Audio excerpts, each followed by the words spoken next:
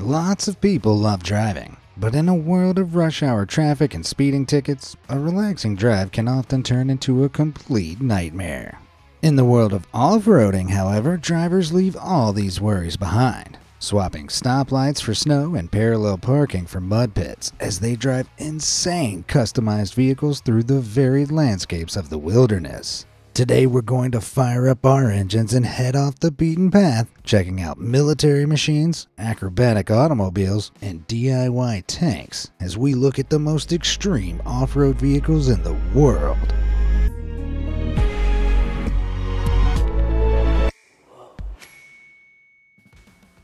Itsy Bitsy Spider.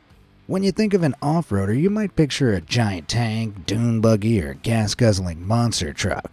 But we're going to kick off today's video with a vehicle that's named after an arachnid, the Swincar E-Spider. At first glance, the E-Spider might look like a bog standard go-kart, but the vehicle has one incredibly unique feature. It has arms.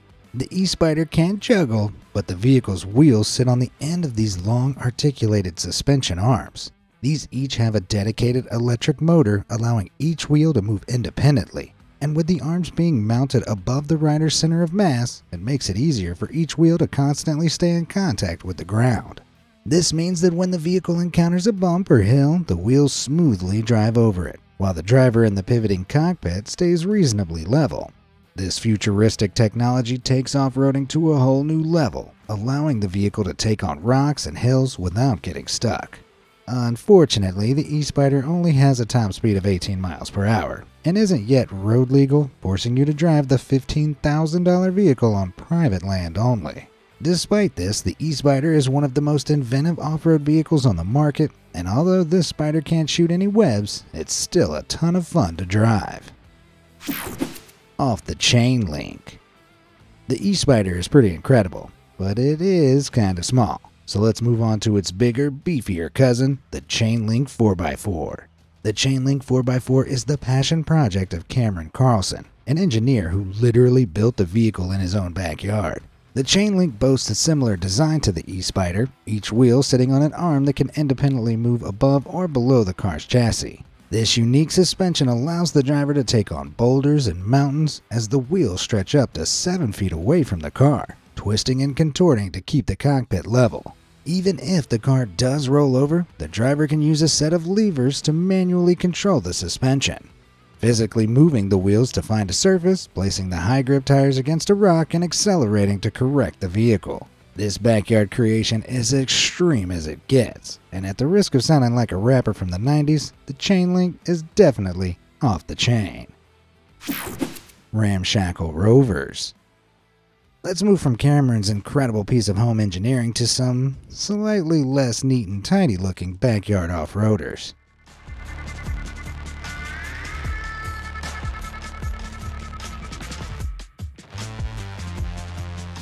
This group of friends in Russia have managed to create the least resilient tank in the world, placing an old Lada Samara on top of two tracks. You might be thinking, DIY, why the hell would you do that? Well, the vehicle might look one speed bump away from total collapse, but there is some method to the madness. Tracks make more contact with the ground than regular tires, spreading the vehicle's weight over a larger surface area. This larger surface area prevents the vehicle from sinking and getting stuck in soft ground like mud or snow. This technology is a necessity for heavy vehicles like tanks. However, it also works on smaller cars like the Lada. As a result, when these Russian Franken cars are taken outside into the snow, they're able to get up some speed and perform some pretty sharp turns.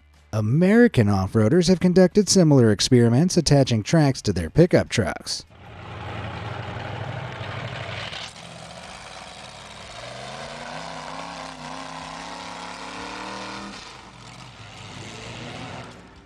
Trucks are already pretty good at off-roading, but the tracks take it up a notch, allowing this custom Dodge Ram to blast through deep mud pits and bogs. The tracks are able to gain traction through surprisingly deep water, and the owners raise their trucks high above the tracks to keep the chassis dry.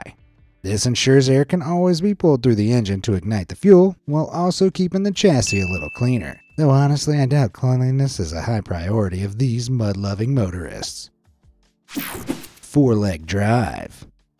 Most off-roaders are built to be as loud and muddy, aka fun, as possible.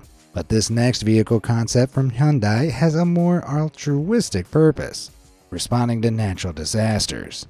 According to Hyundai, the first 72 hours after a natural disaster are the most crucial to saving lives. But first responders are often forced to navigate through collapsed buildings and rubble before they can reach any survivors. Unfortunately, most all-terrain vehicles can't actually go everywhere, and obstacles usually force the responders to travel by foot. Hyundai has attempted to solve that problem by developing a car with legs, in an even more literal sense than the cars we saw earlier. The Hyundai Elevate has four legs that are inspired by the multi-jointed legs of grasshoppers, allowing the car to walk up steps, tiptoe across rocks, and leap over gaps. These cars can hop, skip, and jump to a disaster area, able to climb 5-foot walls and straddle 5-foot holes. With first responders able to reach survivors far more quickly once they've collected their patients, the car can lower into a normal driving mode and speed to a hospital. At the moment, the Elevate is still just a concept. However, Hyundai are making great strides to make the vehicle become a full-scale reality in the near future. In fact, the future of off-roading might look totally different with new concept cars and trucks appearing online every day. In 2017, some netizens claimed that the US military paid $1 billion developing technology responsible for this military truck with a giant spherical wheel. As cool as that looks, in reality, the vehicle is just a piece of concept art by digital artist Camille Kuo that got swept up in viral misinformation. That being said, spherical wheels like this could become a reality in the near future. Back in 2012, a group of engineering students at San Jose University created this futuristic motorbike running on a real spherical drive system. The prototype vehicle is able to drive around on these spherical wheels thanks to six motors in the chassis, moving around in any direction without having to turn. However, the smooth spheres would certainly need some redesigning to suit the grip requirement of off-roading. So it's safe to say the technology has a ways to go before trucks like Camille Kuo's turn war into a very spherical affair. Screwing around. The idea of a truck with spherical wheels might seem a little far fetched, but in the world of off roading, even wackier wheels actually do exist. Screw propelled vehicles are amphibious off roaders that sit on top of two giant screws that push the vehicle forward by pulling against either mud or water.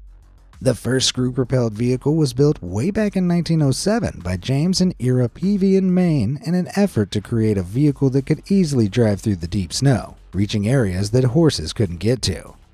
The resulting vehicle far surpassed this original purpose, engineers later discovering that the screw-propelled vehicles could drive through almost anything, including water. In most cases, if you drive your car into a lake, you'll have to make a panic call to your insurance company.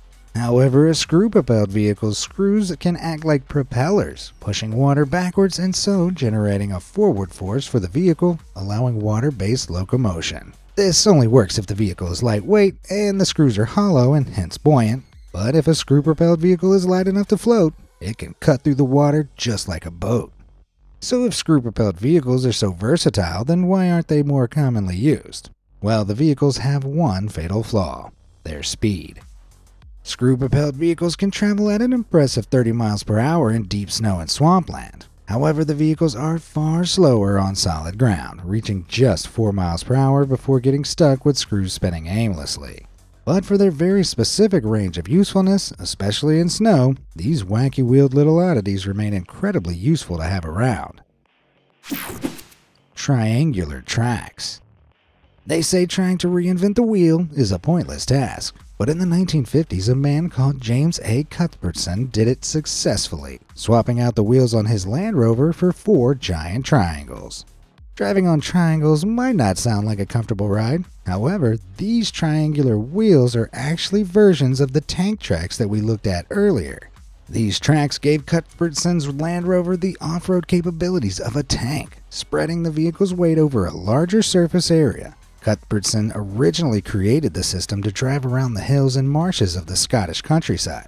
However, it wasn't long before the British Army decided to take Cuthbertson's vehicles for a spin. Like a tank, Cuthbertson's car could easily traverse a muddy battlefield, while being far lighter than its heavily armored counterparts, making it less likely to trigger enemy anti-tank mines. This allowed the British Army to drive across the battlefield, spot the anti tank mines, and blow them up from a safe distance, allowing tanks and other heavy vehicles to follow behind without issue. Eventually, the military developed their own vehicles to fit the task, and today the few remaining Cuthbertson models can be found among collectors, tearing up rural lanes in the British countryside. Insane Train There's nothing more relaxing than going for a long drive through the countryside. But this next vehicle takes blowing off steam to a whole new level, allowing drivers to go off roading in an actual steam train. The vehicle was designed in 1901 when a blacksmith called Alvin Orlando Lombard tried to develop a new way to transport logs other than horse and cart without needing to be restricted to a set path of railroad tracks. Alvin's solution was to take a steam train and attach a track wheel system in the rear, like the tracks used on tanks, and a set of giant skis or wheels up front. Alvin's invention was actually the first commercially successful example of a continuous track system, the blacksmith paving the way for half of the off-roaders that we've explored in this video. After a ton of trial and error, the off-the-rails log hauler that Alvin eventually created was able to easily carve through icy paths that were previously inaccessible by horse and cart. Obviously, as we've already seen, nowadays we can navigate tricky terrain without a cumbersome steam power system. But if I wanted to haul logs in style, I'd still choo choo choose Alvin's invention.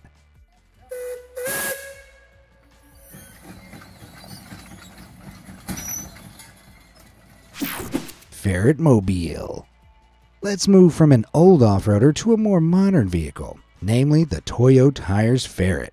This vehicular ferret might not feast on small rodents, but it isn't too dissimilar from its mammalian counterpart, being able to dig through the dirt and launch itself into the air. The one of a kind vehicle was built in 2016 when the team at Toyo decided to create a promotional video that proved their off road tires were the best on the market. The team decided to customize a 1959 Ferret armored car, a scout vehicle used by the British military.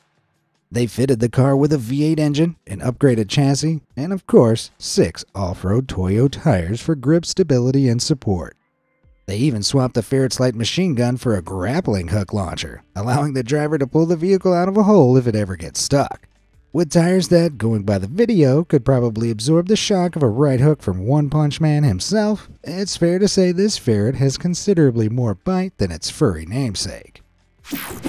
UHAC If you thought the Toyo Ferret seemed ready for combat, wait till you see this next off-roader that's currently being tested by the US military. The Ultra Heavy Lift Amphibious Connector, or UHAC, is currently being developed as an amphibious beach landing craft designed to transport soldiers' equipment and vehicles from large ships to the land.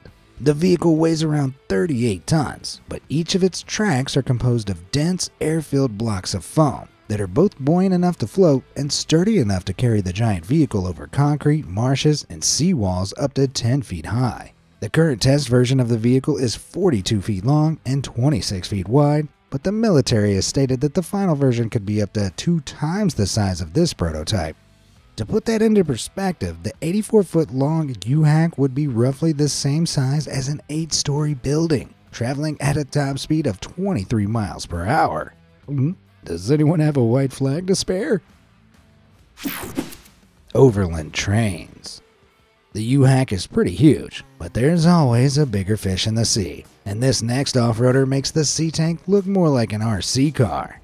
The TC497 looks somewhat like a train that's been taken off the rails, though there's no steam power this time, just a 570 foot long truck that stands at over 30 feet tall. The truck is an incredible piece of engineering, and its origins are rooted in an even cooler story. In 1954, at peak Cold War tension, America was genuinely worried about a full scale Russian invasion.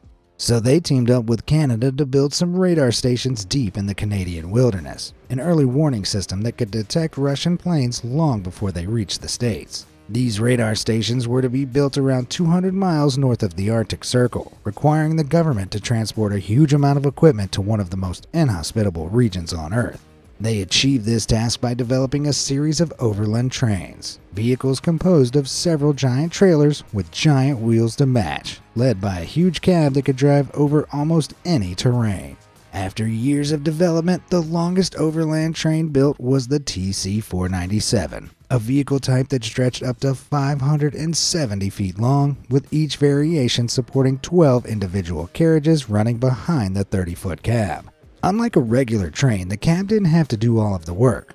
Each of these carriages had their own power supply, connected to four 1,170 horsepower engines that were intermittently placed along the train, allowing the gigantic vehicle to run with a full blown 54 wheel drive.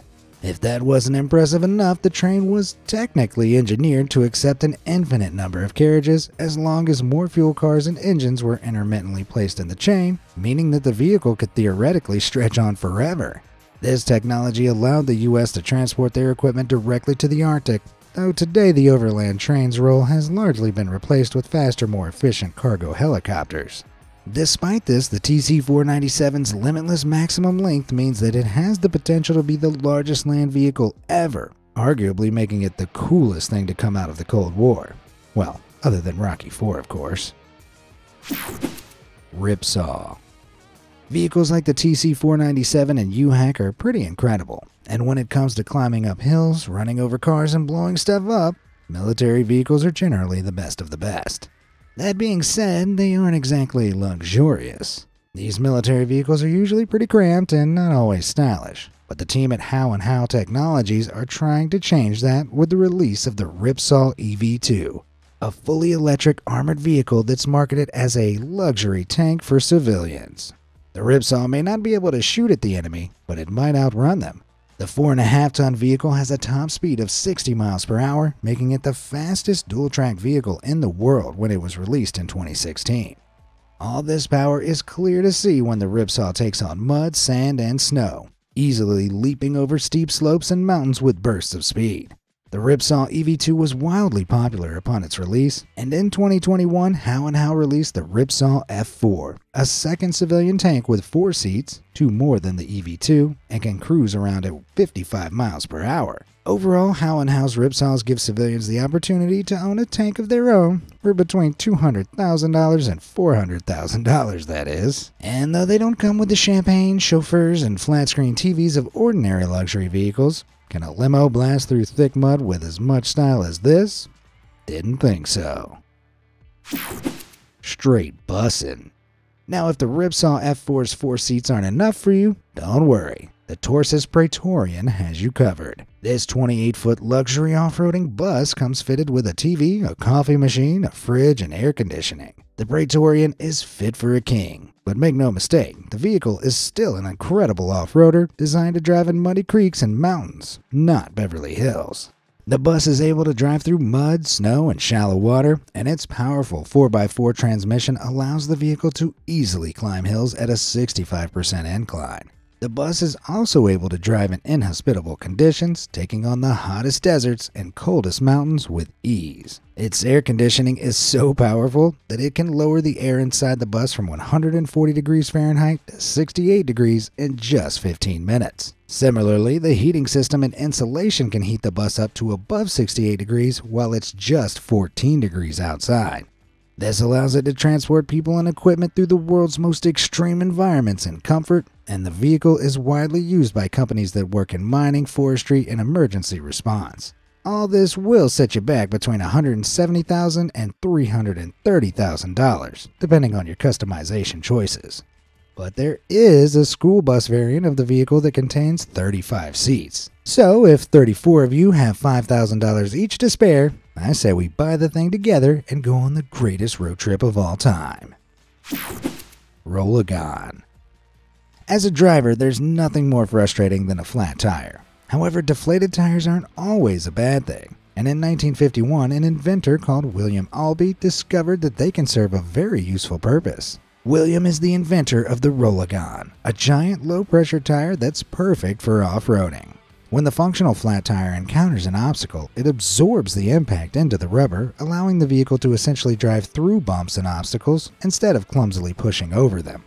The tires are made out of a nylon and rubber hybrid, a strong combination of materials that stops the Rollagons from tearing and popping, while operating at around one seventh the pressure of ordinary car tires. The size of the tires also means that the weight of the vehicle is spread out over a large surface area, exerting less pressure on the ground. This allows the vehicles to drive across soft surfaces like sand and loose gravel, and it also famously allows giant heavy trucks to drive over people without hurting them, as their bone crushing weight is spread evenly across the ground.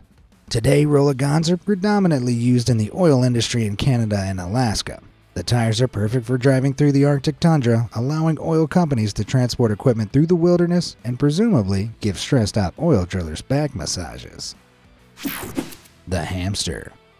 Let's move from Goliath to David, swapping out those big fat wheels for a vehicle that's a little bit smaller. The Khomyak.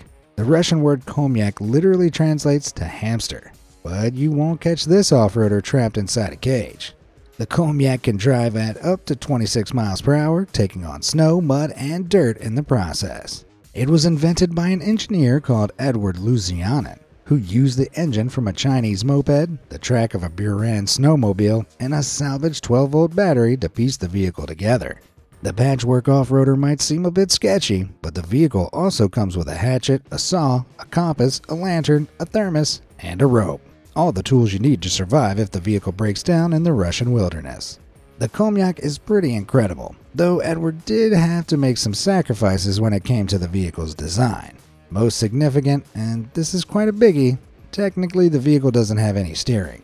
To turn the hamster, the driver either has to jam their foot against the ground or treat the vehicle like a skateboard, shifting their weight to carve through the mud. For an inexperienced driver, the lack of steering makes the Khomyak a bit of a death trap. However, Edward shows that a little bit of practice makes perfect, able to drive around with ease. Just steer clear of tight corners. From Russia with mud. Let's stay in Russia, going for a spin in one of the Russian military's most extreme vehicles, the Vityaz DT-30. The DT-30 is a carrier, a type of vehicle that's designed to transport heavy equipment and weaponry through difficult terrain and extreme weather conditions. The vehicle can carry up to 30 tons of equipment through sand, snow, and swamp. Its powerful 710 horsepower engine and four-track system blasting through anything that stands in its way. The Vityaz isn't fully amphibious, but the vehicle can easily drive in deep water, its curved front and high ground clearance keeping the viewing window clear as the vehicle's giant tracks churn across the riverbed. The Vityaz's engine intake and exhaust also sits on top of the vehicle, stopping the engine from flooding with water and keeping oxygen pouring in as it tears through waterlogged swamps. The vehicle was first developed by the USSR during the Cold War, but today several DT 30s have been purchased by members of the public, and some civilians have taken to customizing them with extra features. Some owners have fitted the vehicles with small cranes, allowing them to manually dig their vehicles out of the ground if it gets trapped. This is pretty awesome, but I can't imagine the cranes get used very often. After all, it takes a lot for a DT 30 to get stuck in the mud. North Pole Palace Let's move away from the battlefield, checking out an off-roader that's solely designed for expeditions to one of the world's most inhospitable regions, the North Pole. The Burlak is a Russian expedition vehicle designed for use in the North Pole, boasting a number of features that allow a team of eight people to travel through the Arctic. The vehicle is carried by six giant wheels with enough grip to drag the vehicle over snowy hills and ice caps. Despite weighing in at over 4 tons, the Burlak's sealed chassis is astoundingly buoyant enough to float, and the vehicle's propeller allows it to travel through the water like a boat, easily moving from one sheet of ice to another. With winter temperatures plummeting to negative 40 degrees Fahrenheit, the North Pole isn't exactly homely. But the Burlak is built like a full blown house, containing a shower, a kitchen, and beds. Scientists can live inside the Burlak for months at a time, and if the vehicle breaks down, its parts are specifically designed for easy repair and maintenance. The North Pole is usually too cold for a driver to hop out of the vehicle and make some repairs with a wrench, so the Burlak allows you to access the vehicle's engine from the inside. All of this results in a groundbreaking expedition vehicle that can make a deadly journey through the Arctic feel like a decked out road trip. That's not just cool, that's ice cold. Which crazy off-roader would you most like to take for a spin? Let me know in the comments below, and thanks for watching.